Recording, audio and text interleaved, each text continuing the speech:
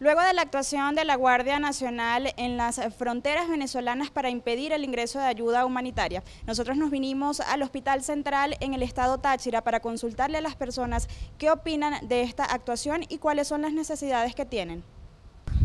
Hay que decir la verdad y hay crisis. ¿Cómo va a ser posible que quemaron dos camiones habiendo tantas personas que necesitan tantas cosas, que no tienen dinero y lo, y lo van a desperdiciar de esa manera? No es justo.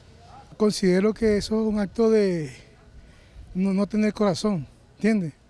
Pongamos que alguien que no la necesite, pero la mayoría del pueblo la necesita.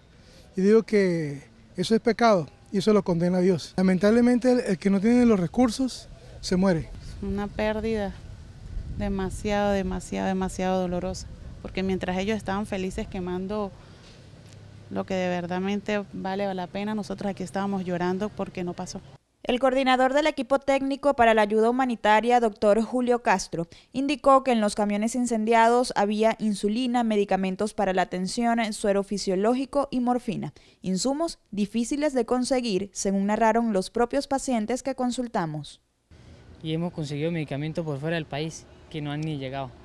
¿Son más costosos? Son más costosos. ¿Cómo hacen? Recorrer con, gracias a Dios tenemos el internet y el WhatsApp, tenemos familia en el exterior que nos han ayudado económicamente y, con medicina. Si hay crisis, si hay crisis, mira, yo tengo, mi papá es de Mar, yo soy de Maracay, yo estoy acá huyendo de la crisis.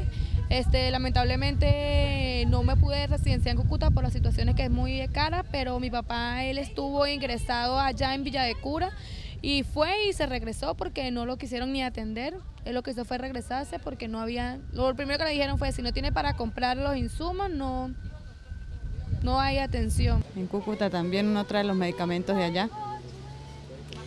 bastante costoso. Aquí todo está muy costoso.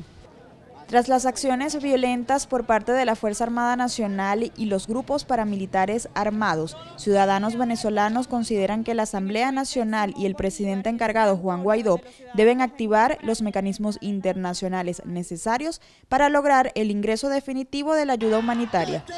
Desde Táchira, Neidy Freites.